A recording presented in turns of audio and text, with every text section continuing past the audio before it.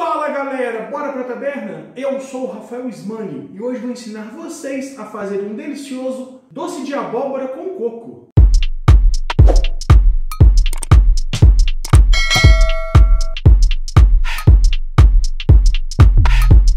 Começaremos a receita colocando a nossa abóbora picada na panela.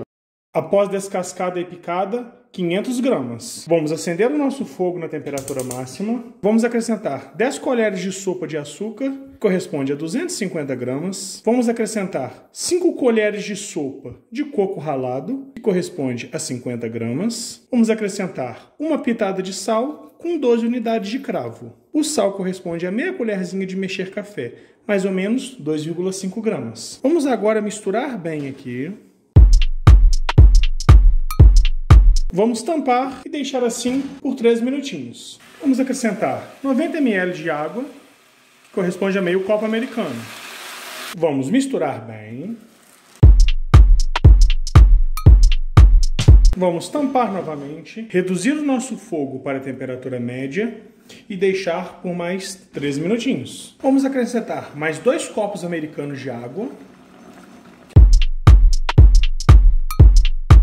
Vale ressaltar, galera, que cada copo americano tem 180 ml. Vamos misturar bem.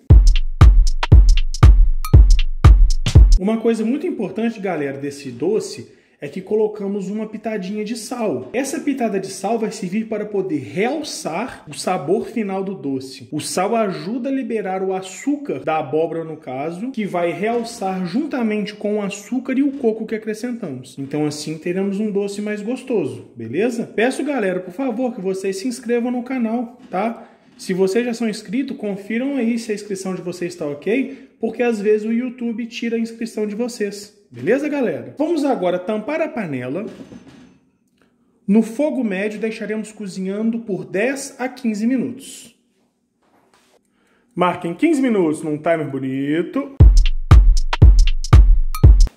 Vamos misturando, amassando bem aqui.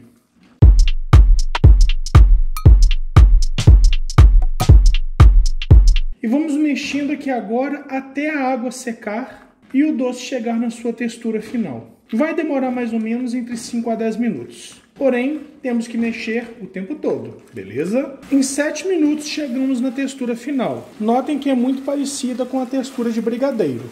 Vamos desligar nosso fogo e deixar ele aqui esfriando por aproximadamente 10 minutos. Então, já já eu volto. Bora passar para um pote bonito.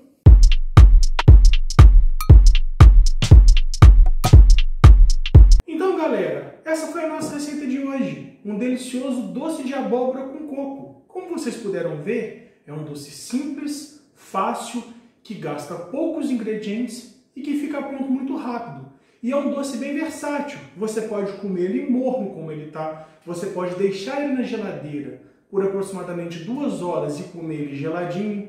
Você pode passar ele numa torradinha como eu vou fazer. Você pode comer ele depois do almoço. Espero que vocês tenham gostado.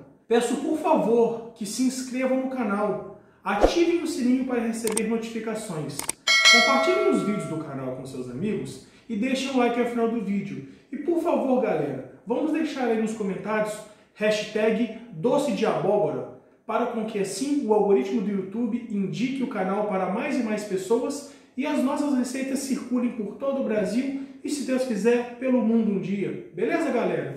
Muito obrigado. Até a próxima.